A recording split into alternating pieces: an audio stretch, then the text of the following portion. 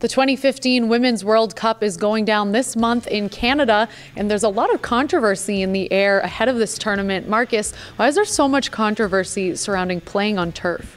Well, it's really a gender equality issue. Uh, FIFA would never have the men play on on uh, artificial turf. They would only play on natural grass. Uh, the, Can the Canadian uh, organizing committee decided the final would be in Vancouver. That's in a dome, so the rest of the tournament has to be played on the same field. So they're only playing on artificial turf, and many of the leading players hate it.